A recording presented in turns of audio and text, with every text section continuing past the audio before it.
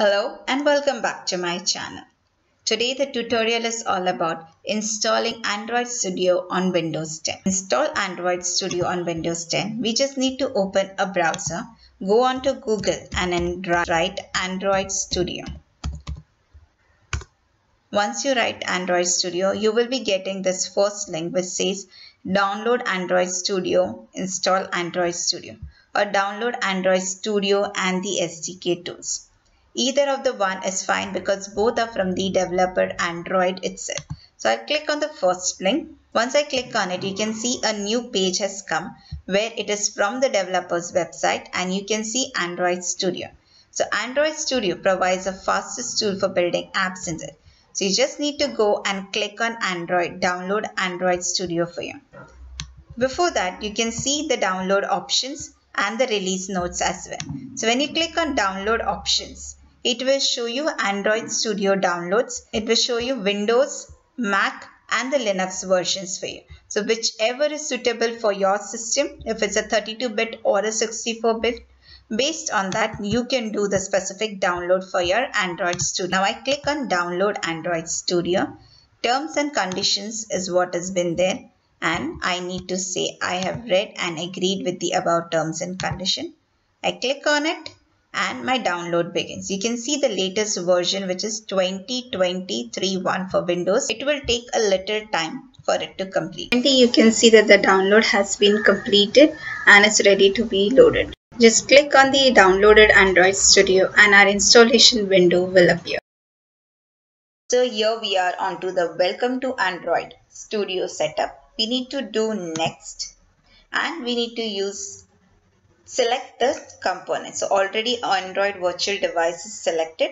So we just need to do a next. Where exactly you want Android to be installed, any specific drive. Currently I am installing it under program files only. So program files, it will be creating a folder called as Android inside which it will be installing the Android Studio. It will do select from all the options that it wants. So choose start menu folder so it will be like Android Studio coming into the start and click on. So here all the setups are done and you just need to click on install. It will take a bit of time for the installation to complete because it needs to combine with the jar files, the Java files. So now we can see it has said installation has complete. So setup has com successfully completed. So just need to click next and you want start Android Studio. So you can click on start Android Studio and click on finish. And here we are, our Android Studio. The latest version of Android Studio is loading up. And as Studio is loading, you can see it is loading the layouts and everything. Though I had uh, worked first also in the Android, so right now it's loading some of the layouts which are already existing in my system. So here we are into the window of Android Studio. As I had said, I am already worked on Android. I just wanted to show you all the installation for the new version. So there are few things which are already existing in my system. So what's new in the Arctic Fox? Now Android Studio has an option to work with Java or with Kotlin. So either of the programming languages you can work with. And I'll be also working on Java on my. So since my page has loaded, which is an already an existing uh, application which I was working on it. So let's start a new application. So go on new, new project and you can select a new activity, basic activity, different types of options which are there like empty activity, full screen activity and many more. So these are the views which are available for us to use. Currently I'll go with empty activity. So there is nothing on my screen and I'll have to create everything from the base. So I'll go next and this is where you have to give an application name. This is the name for which a folder will be created in your system. As you can see, it's in the Android Studio projects because inside C program files Android inside that Android Studio got installed. So it is taking my system's user and inside that it is going to create the application name. So whatever name I give over here, that is what is going to get applied over here. So if I try to change the name as, for example, I just give it as first app. So you can see the name got changed over here. because this is the what name that comes as a package name also. So whatever I give over here, it will get changed as a folder name as well as the package name.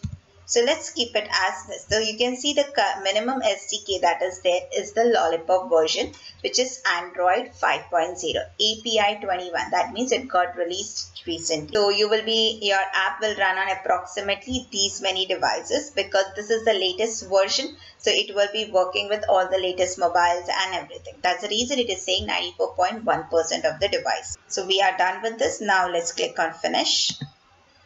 So my project is loading. That's why you can see you are getting tip of the day. If you want to see the tip, you can click on next tip and it will show you some tips which are helpful for you in working with Kotlin or with Java. So currently I close. You can see over here at the bottom indexing Android SDK Android API 30 platform. It is loading. When it's fully loaded till here, the progress bar is completed. Then only your entire code with layouts and everything will load over here. So we'll have to wait till it gets completed. So here we are onto the window of our first app application. So since I had already had a system in place, so I created a new one. So over here, right now we are onto the first app and Gradle is still getting builded and it's getting completed. So it's going to take a few more minutes for it to complete. As you can see, three minutes ago it has started. So when it gets completed, our entire page will load. It's always to have a good practice to have your internet on when you are working with Android because there is always some or the updates that happen and the Gradle to sync needs a lot of internet access. So in that case, if your net is on, your app and your system works fine. So our Gradle sync is fully finished. Now you could see how much time it has taken. It has taken 1 hour 26 minutes 21 seconds 897 milliseconds to complete this entire loading with the Gradle syncing and the Gradle build is up.